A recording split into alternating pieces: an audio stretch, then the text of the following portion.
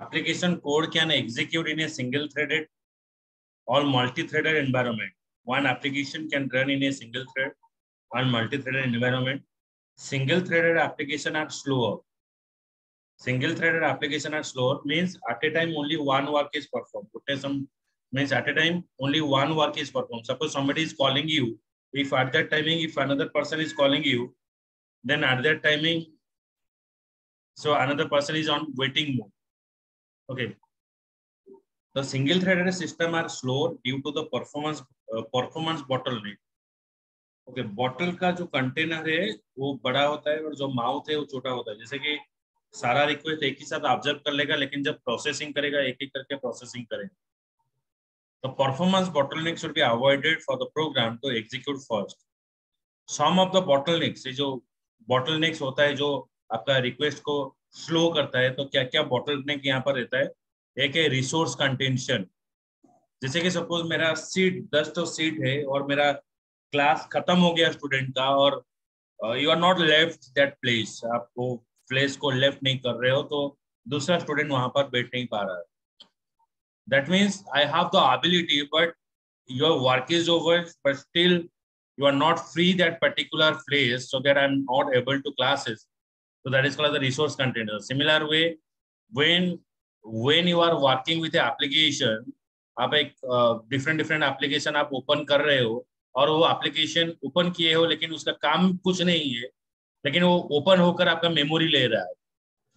That means you are taking the memory you are not giving a chance to the other application to open and execute so that is called resource contention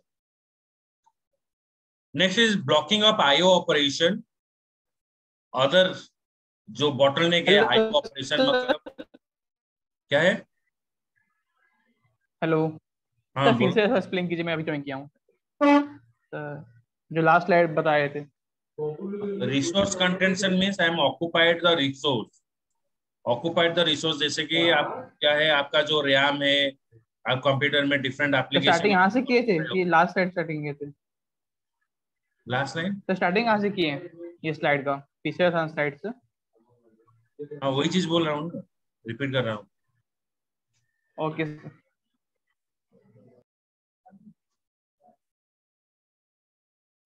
resource contention means you are occupied the memory. Means computer is having a different memory. तो आप multiple application open कर रहे हो लेकिन उस application में आप काम नहीं कर रहे हो। तो you have there is no work but still it is open and it is occupying the memory so that other application which is actually you want to work you are not able to work over there so that is called as a word you're blocking of uh, uh, resource contention. Unnecessary, you are taking the resource contention. Another is blocking of IO operation at a time when you are giving a input to the computer. So it is not generating the output. So when it is showing the output, you are not getting a input. So input output at a time or simultaneously आप नहीं कर सकते हो. Next है, underutilization of CPU.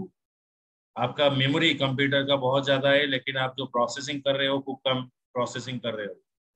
तो ये होता है आपका underutilization of CPU so multi threading enable you to avoid the potential bottleneck ये जो बॉटलनेक होता है, और जो प्रोसेसिंग को डिले करता है, इसको फास्ट करने के लिए हम यूज़ कर रहे हैं मल्टी थ्रेडिंग एप्लीकेशन तो by using of multi threading application ये जो बॉटलनेक होता है इसको हम अवॉइड कर सकते हैं फ़ाइल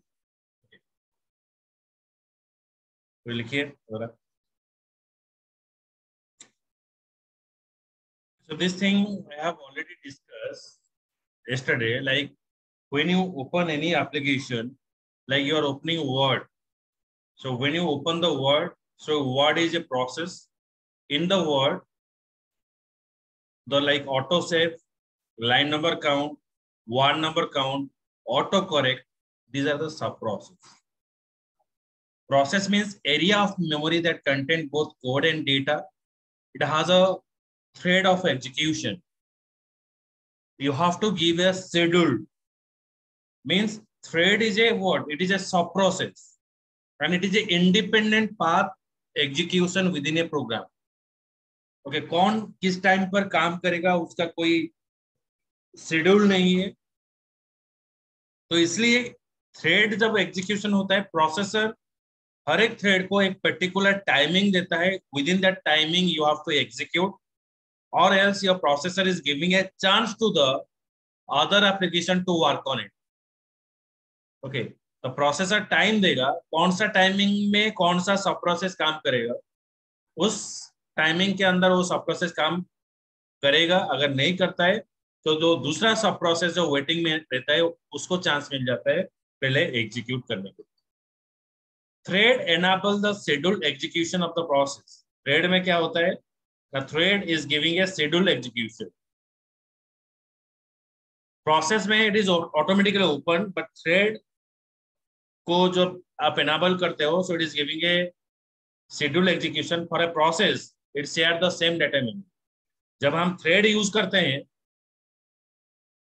थ्रेड सेम मेमोरी को ही शेयरिंग करता है. It share the same data memory and it may follow the different path same memory word open हुआ तो वार्ड जितना मेमोरी लिया, उसके अंदर जो सब प्रोसेस रहेगा, जैसे कि word number count line number count auto save वही मेमोरी को ही से शेयरिंग करेगा, दूसरा शेयरिंग नहीं करेगा. It share the same data memory may follow the different path. So it is a types of tag schedule for execution. Right?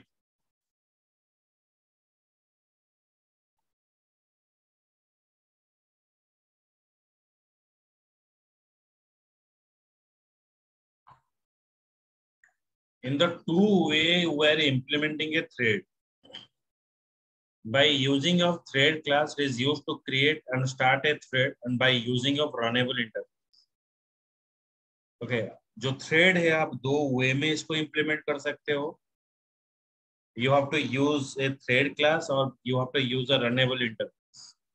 दोनों वे में हम थ्रेड यूज़ कर सकते हैं तो दोनों में डिफरेंस क्या है? आप थ्रेड क्लास को यूज़ कर सकते हो और रनेबल इंटरफेस को यूज़ कर सकते हो। आज you know that Java support the single inheritance अगर आप इनहेरिटेंस आप यूज़ करोगे तो क्या होगा ना?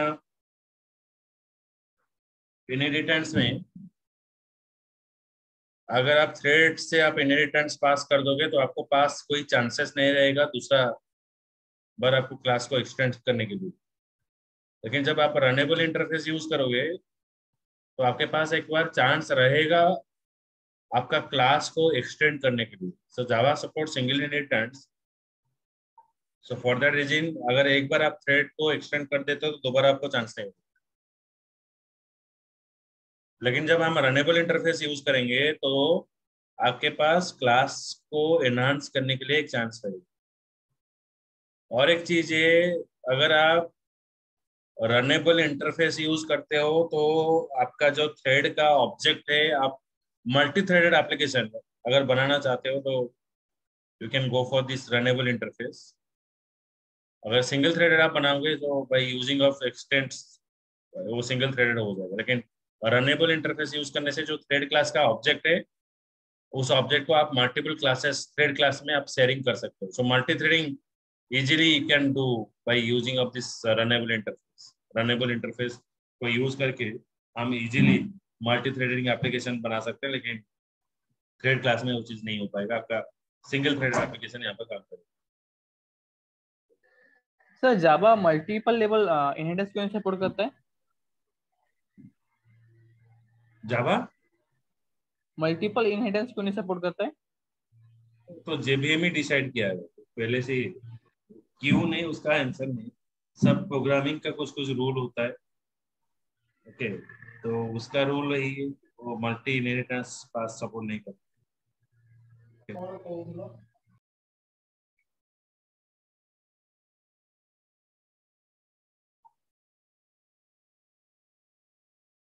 So when you want to call a function, function को कॉल करने के लिए आपको क्लास का ऑब्जेक्ट बनाने की ज़रूरत पड़ेगा। जब आप क्लास का ऑब्जेक्ट बनाओगे ऑब्जेक्ट के थ्रू में हम अगर फ़ंक्शन का नाम देंगे तो फ़ंक्शन कॉल रन मेथड को कॉल करने के लिए क्या होता है? ना आपको क्लास का ऑब्जेक्ट मैंने बनाया जैसे कि यहाँ पर क्लास का नाम है एग्ज़ाम्पल थ्रेड तो क्लास का मैं ऑब्जेक्ट बनाया। उस ऑब्जेक्ट के मदद से मैंने स्टार्ट मेथड को कॉल किया। जब मैं स्टार्ट मेथड को कॉल करूँगा तो ऑटोमेटिक आपका क्या होगा ना रन मेथड कॉल हो जाएगा। Run method is not directly call और run method is call by using a start method start method को कॉल करने के टाइम पर रन मेथड कॉल होता है। सर आर्टिगेट ओवरराइड स्टार्ट मेथड है क्या? हाँ। तो स्टार्ट मेथड कौन सा है उसमें? समझा नहीं क्या बोले तो जो ऑब्जेक्ट बना के क्या कॉल किया गया? क्लास का ऑब्जेक्ट बनाकर हम अगर स्टार्ट मेथड को कॉल करेंगे तो ऑटोमेटिक आपका जो रन मेथड है वो कॉल रन मेथड तो यहाँ पर जैसे कि हमने पहले क्या किया था? पहले हम क्लास का ऑब्जेक्ट बनाकर उस फ़ंक्शन को कॉल करते थे। उस फ़ंक्शन को कॉल करते थे लेकिन यहाँ पर उल्टा है। यहाँ पर स्टार्ट मेथड को कॉल करने पर run method call okay sir sir अगर मल्टीपल उसमें फ़ंक्शन दिया होगा तो? मल्टीपल फ़ंक्शन दूसरा फ़ंक्शन को कॉल कर सकते हो लेकिन रन मेथड को कॉल करने के लिए आपको स्टार्ट मेथड को कॉल करना पड़ेगा। और कोई फ़ंक्शन होगा तभी है स्टार्ट देंगे? नहीं नहीं और दूसरा फ़ंक्शन अगर लिखोगे तो उसका नाम में आप कॉल कर सकते okay sir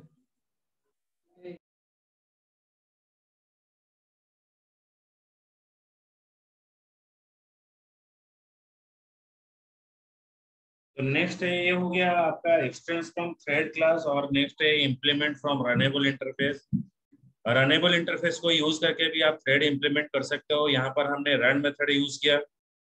okay override run method लेकिन यहाँ पर देखो, यहाँ पर हमने क्लास का ऑब्जेक्ट बनाया। फिर थ्रेड क्लास का ऑब्जेक्ट बनाया।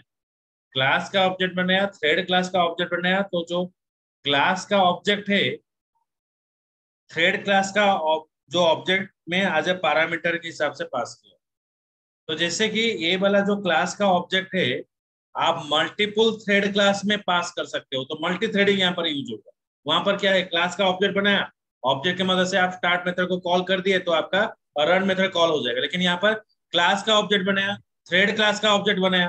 तो थ्रेड क्लास का जब ऑब्जेक्ट बनाया क्लास का ऑब्जेक्ट को एज ए पैरामीटर के हिसाब से यहाँ पर पास कर दिया और थ्रेड क्लास का ऑब्जेक्ट के मदद मतलब से हमने स्टार्ट मेथड को कॉल कर तो इस तरह से आप तो कौन सा कौन सा हाँ। अच्छा है? क्या है? तो कौन सा मतलब बेटर रहेगा? रनेबल अच्छा रहेगा कि सर वो? रनेबल बेटर रहेगा। अगर आप मल्टी थ्रेडिंग करना है तो रनेबल अगर किस एप्लीकेशन में आपको चाहिए सिंगल थ्रेडेड एप्लीकेशन बनाने के लिए तो आप यूज़ करोगे एक्सटेंड फ्रॉम थ्रेड क्लास तो दोनों यूज़ कर okay sir that is depend upon your purposes that you are creating application okay sir write down like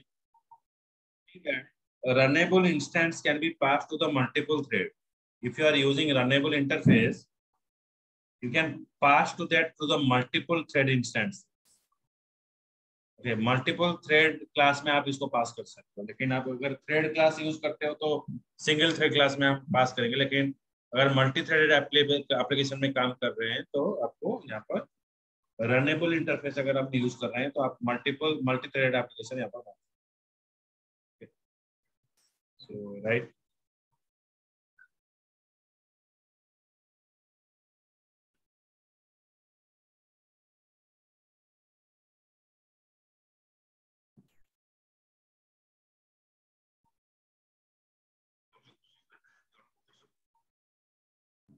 shared data shared data means instances and static field instance variable the variable that is defined inside a class is called the instance variable and the in variable that when you define as a static that is called the static variable so this instance and static variable can be shared you can share this value it must be accessed by the thread with cousin because it may be changed by the concurrently by the multiple thread एक thread एक variable को जिस तरह से treat कर रहा है और जिस सिक्वेंसी में इसको एक्सेस कर रहा है it may not be happened when you are using another thread the another thread using the same variable and using the same variable in the same sequence तो sequence must be change okay तो that is the sharing data so when you are sharing the data तो it it will be changes